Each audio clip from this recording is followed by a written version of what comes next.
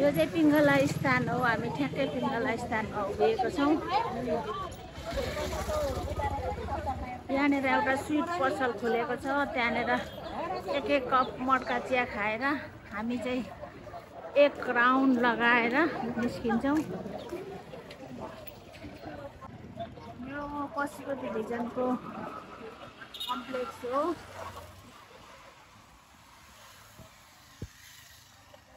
अहिले खुलेको नयाँ स्विट पसल यो हो अहिले। यहाँनिर चाहिँ पिङ्गलादेवी माई छिन् यहाँभित्र यो मुनि। चाहिँ ए शिलाजी आठसम्म पनि बेच्नु भएको रहेछ। हो यहाँ चाहिँ धेरै पशुपतिमा दर्शन गर्न आउने व्यक्तिहरू बस्नुहुन्छ धेरै जस्तो इन्डियन भिजिटरहरू हुनुहुन्छ। पिङ्गला स्थानको बजारहरू। यस्तो छ यहाँनिर। यहाँ धेरै जस्तो चाहिँ होटलहरू छ। यहाँ गेस्ट हाउसहरू होटलहरू चाहिँ धेरै छ। किनभने एयरपोर्ट पनि नजिक अनि पशुपति पनि नजिक भएको कारणले गर्दाखेरि चाहिँ यो एरियामा चाहिँ धेरै जस्तो होटल र गेस्ट हाउसहरू छ। अनि पसलहरू पनि धेरै छ तर यहाँको अलिकति भिजिटरलाई टार्गेट गरेको भएर होला। अलिकति एक्सपेन्सिभ चाहिँ मलाई चाहिँ लाग्छ तपाईँहरूलाई कस्तो लाग्छ। कपडा पसलहरू यो भएको मुनिको बाटो हो। यो मेन रिङ रोड चाहिँ यो हो। माथिपट्टि छ रिङ रोडमा चाहिँ गाडीहरू देखिराख्नु भएको चाहिँ हो गाडीहरू वेट गरिरहेको छ। हामी चाहिँ ठ्याक्कै रिङ रोडकै इनभित्र छौँ। अहिले यहाँदेखि चाहिँ गाडी पनि लाग्छ।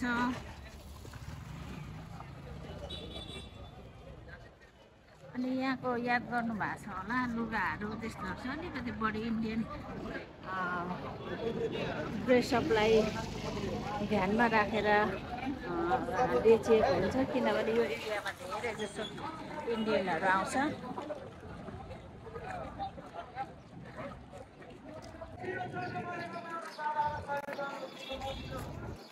खाना सय रुपियाँ अरे रुम आठ सय यहाँनिर बोलाउँदैछ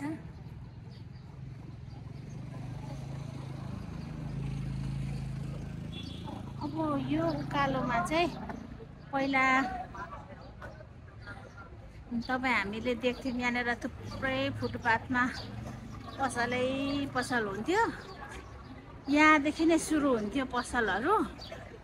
अहिले चाहिँ बालेन शाहले यो फुटपाथ पसलहरू बाटोको रोडको पसलहरू चाहिँ उठाइदिएको भएर अहिले चाहिँ यस्तो छ यहाँको नजारा। अहिले चाहिँ हामी गौशाला चोकमा आइपुग्न लागेका छौँ।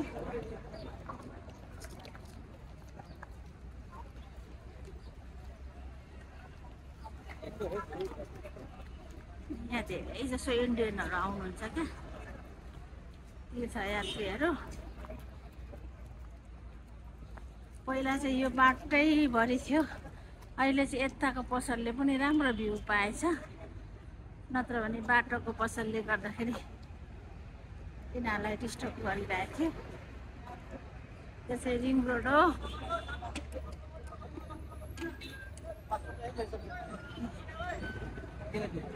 पहिलाको मेलाइरहेको थियो यतिखेर बाटोमा। धेरै धेरै मान्छेहरू बेच्ने बस्नुहुन्थ्यो। बाटोमा अहिले खुल्ला छ।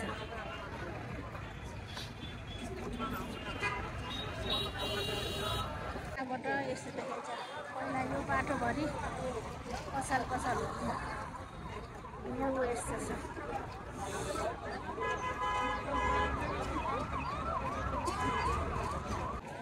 यो चाहिँ रिङ रोड ठ्याक्कै छ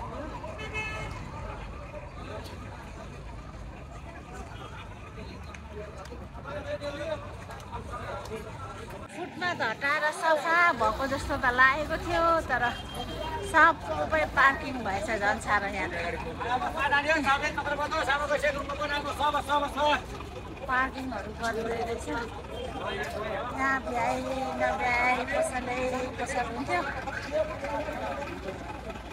अहिले चाहिँ गाडी स्टेसन चढ्ने र प्लस ट्याक्सी पार्क भएछ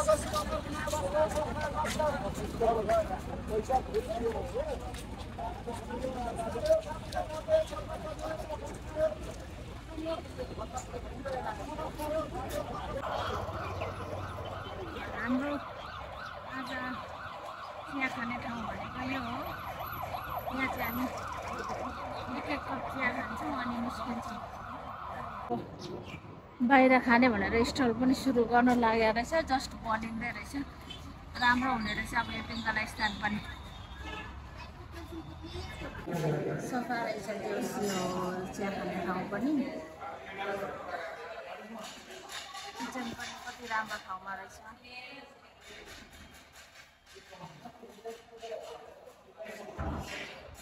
हाम्रो खाजा आइपुगेको छ समोसा।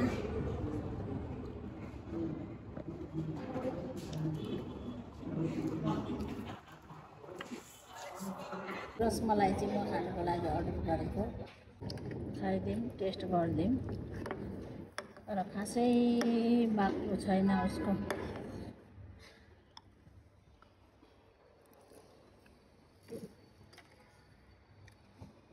यहाँको स्पेसियालिटी भनेको यही चिया खानु भनेर आएको। कुलोर चिया पनि आइपुगेको छ तर खासै मिठो होला जस्तो छैन अनुहार हेर्दा अनि तपाईँको ठिकै टेस्ट